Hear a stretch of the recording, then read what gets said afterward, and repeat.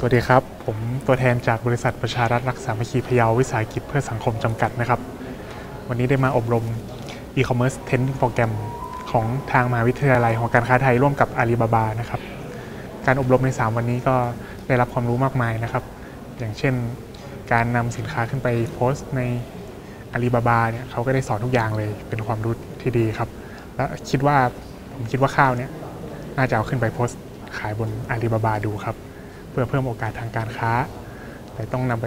แต่ต้องทำให้สินค้าของเราเนี่ยมีความแตกต่างจากเจ้าอื่น เพราะว่าของเราเนี่ยมีคู่แข่งมาก เราต้องทำให้สินค้าของเราเด่นขึ้นมาให้ได้ครับ และต้องขอขอบคุณ SME Bank ที่ได้เห็นความสำคัญของ e-commerce ในประเทศไทยนะครับ แล้วก็ได้ช่วยธุรกิจ SME ต่างๆ ให้ได้มีการปรับตัวเปลี่ยนแปลงไปในทางที่ดีขึ้นในเส้นทางของ e-commerce แล้วก็